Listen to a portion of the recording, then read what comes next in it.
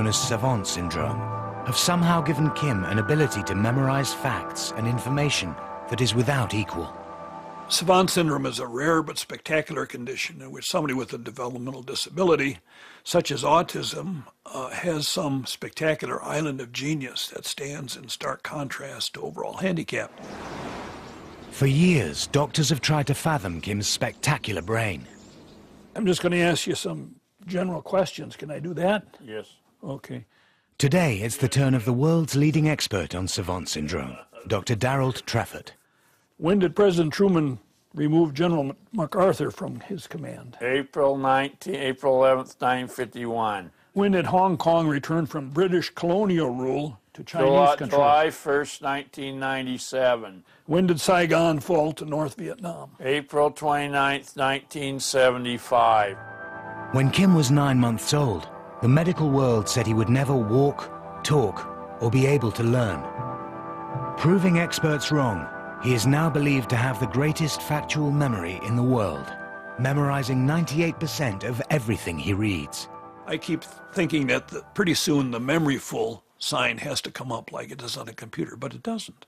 He continues to absorb and uh, not only absorb but also recall. What what day was was Easter this year? What was the day? It was March 23rd, and we won't see another one this early again until 2160. and we won't When, see it. when is the last time that we 1913. Is And that we right? don't see it. Uh, you, you folks should remember So how many years before the next? 152 years. What year will that be then? 2160. It's believed Kim's talent may be partly down to the fact that his brain is wired in a completely different way from the rest of us. Since birth, Kim's corpus callosum, the white matter that carries vital connections between the left and right halves of the brain, has been completely missing. But somehow, Kim's brain has managed to rewire itself in a unique way. This could explain his extraordinary genius. Now, what what is what is the earliest that Easter has ever fallen? 1761, 1818, 2274.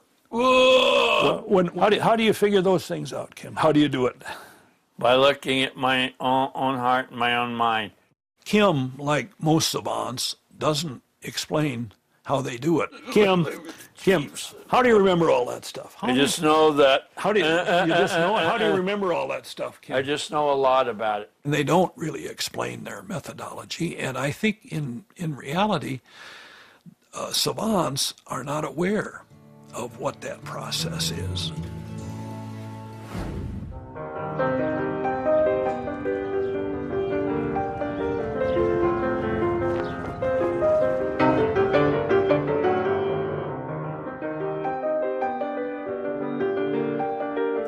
Every time I look at him and when I when I see it, it is uh, I, don't know. It, it it blows me away. I look at him and I say,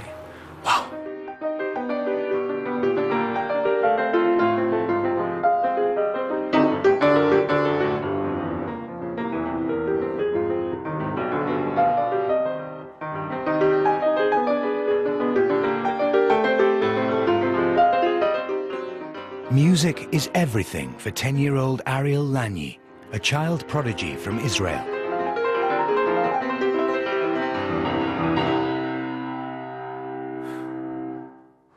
Ariel is more than just a pianist. He's a composer too. Well, this could be an intro, and then there could be a, a totally This was there different- before. No, that's what I want to write now. No, first of all, I want to jot down the intro Okay. Before we start anything. But don't you have I'll- a subject? You had a subject. I'm going to do my opus 8, opus 9, and opus 10, so I'm going to work on opus 6, opus 7. I don't have to do so. Then I'll work on opus 8, then on opus 9, and then on opus 10. His achievements are beyond, far, far beyond of any most gifted child that I've known. The question was, why do you take criticism from your teachers and not from your parents? And not from your mother. And not from your father either. Well, because my teachers are, are, are way smarter. Well, that's nice. That's a nice. Parents Gabby and Olga have raised their son in a home dominated by music. Ariel was destined to be a pianist right from the off. We were negotiating for a piano when uh, when Olga was pregnant with uh, Ariel, and she said, "Well, why why are you so anxious about it? What, what's the big deal? He's not going to come back home from a hospital and, and start taking piano lessons." And I said, "No, but I don't want to bring a child back from the hospital into a home that doesn't have a piano." Neither Gabby nor Olga could play the piano. It was for one person only, their newborn child. When he was born, he started uh, listening to music right from the beginning because there was a tape that his father prepared for the occasion. And from then on, he was listening to music almost 24 hours a day. There is a theory that um, very young children can be taught anything. They don't have to be born that way. But the earlier you start the education, the more you'll be able to achieve. It soon became apparent that the theory was working. He was less than three, just a little less than three, and, and we were driving in a car, and he was sitting in the back, and we were listening to the radio, and it was Beethoven's Second Piano Concerto, which I recognized, but I, I, don't, I don't know the key, and I didn't have the CD, so I told him this is Piano Concerto by Beethoven. And Ariel said, Ian, and I didn't have the answer because uh, I didn't have the CD to look at, right? And obviously I cannot tell. So he says, in B flat major. And I looked in the mirror and I said, Are you sure? And he said, Oh, yeah. So, needless to say, as soon as we got home, I take out the CD and I look at it, and it's in B flat major. By five, Ariel had already taught himself to play the piano and started taking lessons.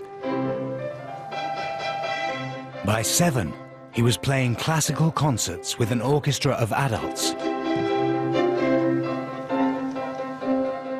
In a way, we created it to some degree by exposing him early on. And a little baby uh, doesn't have many choices. So he just lies on his back and you play Bach and you play Bartok and uh, he listens.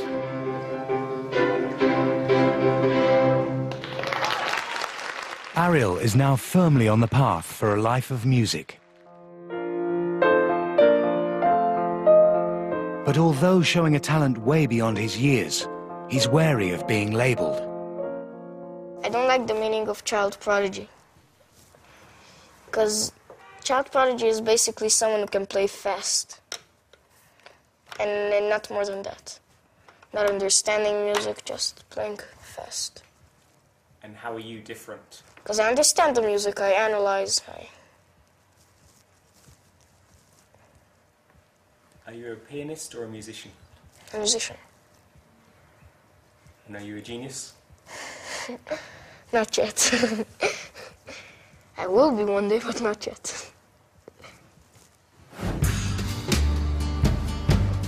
While Ariel developed his gift from an early age, others find greatness much later in life.